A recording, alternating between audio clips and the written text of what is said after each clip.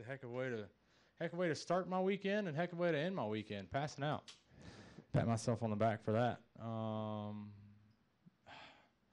I'm just so bummed out and frustrated with myself, and I know my family is going to be hard on me after this. Not to be so hard on myself, but I'm competitive and I want to win races. I want to lead laps, and um, just wanted to have a good showing and to speed four or five times, same segment. Um, that was pretty pretty tough to swallow.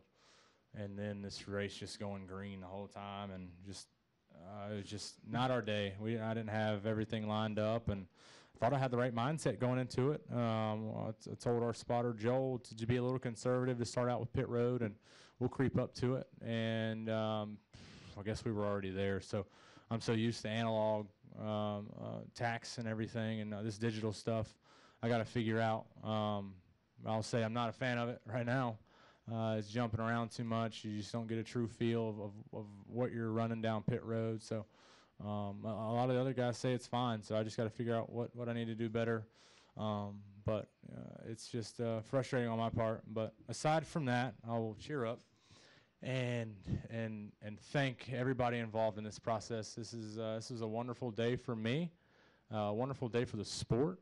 Um, wish we could have got a little bit better finish in our Smithfield Ford, but um, I'm just thankful for the opportunity. I've been dreaming about this since uh, I was a little kid, uh, being in the Cup Series, um, and, and and now it's here, and I, I made a name for myself. Um, I thought I ran a, a, pretty decent race, you know, just kind of running there by myself, passed a couple people, uh, try not to make anybody too mad, and uh, hopefully earned a lot of respect from uh, from those guys out there. I, I, definitely had a blast. At the same time, I was a little frustrated, but um, we'll build off of it. I'll, I'll practice more with uh, with the dash and, and get, go debrief with the team, and and uh, we'll just uh, get better.